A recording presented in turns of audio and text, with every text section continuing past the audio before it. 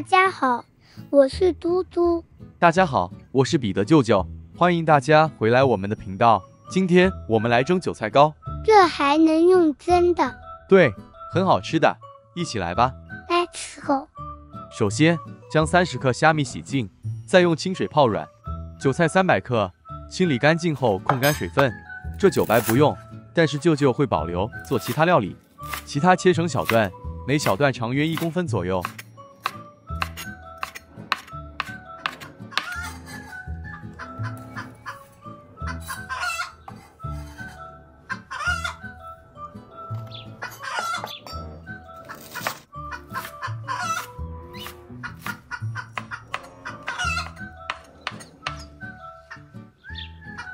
将切后韭菜放入料理盆中备用。泡软后的虾米，沥干水分后再剁碎。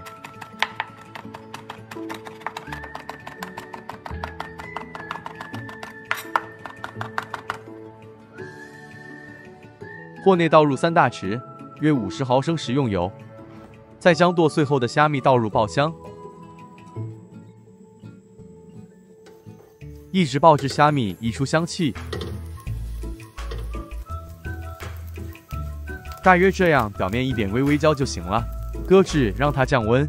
韭菜内倒入一大匙白糖，一小匙生抽，一小匙胡椒粉，半小匙盐。这盐用量还请自行调整。将韭菜与调味料一起拌匀。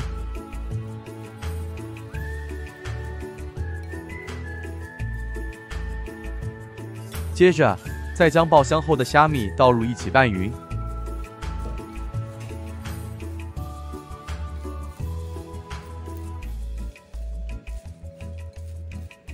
为了让蒸熟后的韭菜糕、韭菜保持翠绿，可以加入少许食用苏打。舅舅在这里加入四分之一小匙，建议的朋友可以不加。拌匀后的韭菜搁置二十分钟待用。接下来，我们来调个粉浆。料理盆中倒入八十克粘米粉，九十克木薯粉，最后是三十克糯米粉。先将所有粉料拌一拌匀，再将两百毫升煮至沸腾的热水加入，水分次慢慢加入，边加入边拌匀。水很烫，小心避免烫伤。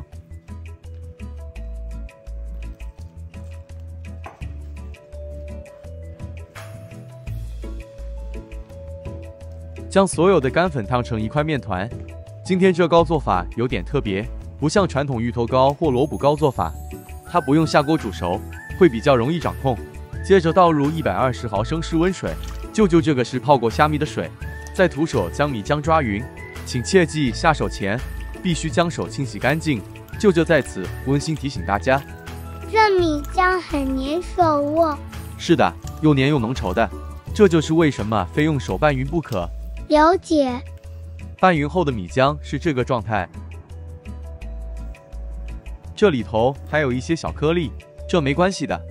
一会加入韭菜后，它会随着韭菜里的油分自行乳化，完全不会影响成品。这时候预先将蒸锅里的水煮开，再将韭菜全部倒入米浆内，然后再做最后一次拌匀。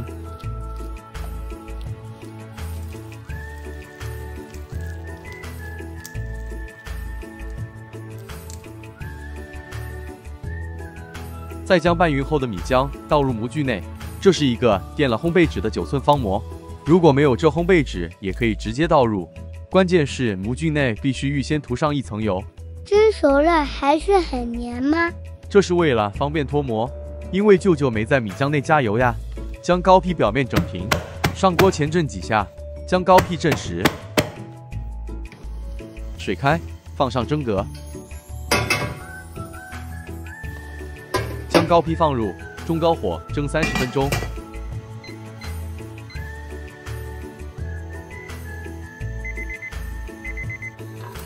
时间到熄火，酱糕直接取出。哇，真香哦！嗯，香气扑面而来。蒸熟后的成品，待完全降温后才能切件。这是经过三个小时冷却后的韭菜糕。因为舅舅没在烘焙纸涂油，成品会有些许粘连。这怎么办呢？没事，因为这烘焙纸有点防粘，用个塑料板撑一撑就行了。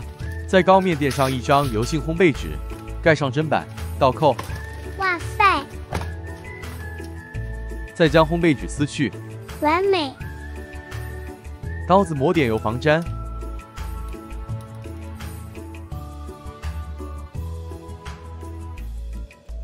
是可以开吃了吗？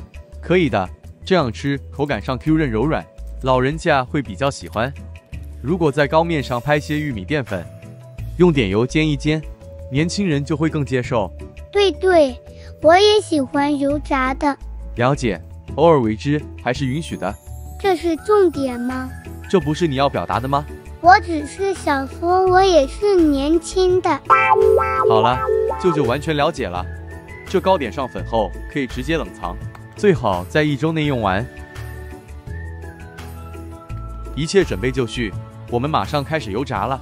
炉开中火，锅内倒入一点食用油，这是不粘锅，油量不用多。油热后，将糕放入。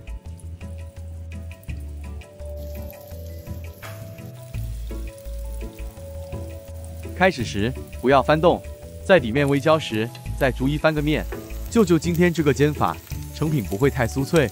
想要煎的比较酥脆的朋友，粉可以沾多一点，油也要多，用半煎半油炸做法，就可以取得外酥里嫩的效果。嘟嘟，舅舅是有把话说清楚了吗？我明白了，不明白的叔叔阿姨敬请留言。这我就放心了。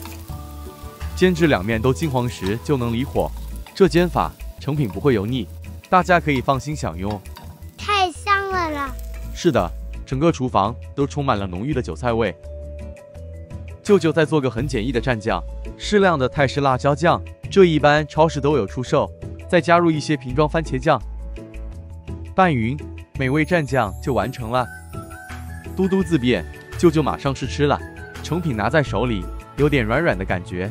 对了，这糕点可以晚上预先煎好，隔天当早餐时也不会变硬。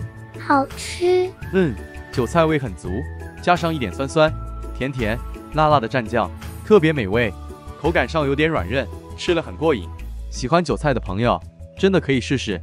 今天就分享到这里，喜欢我们的频道，请帮忙订阅、按赞、分享给您的朋友。谢谢大家，我们下一支视频再见。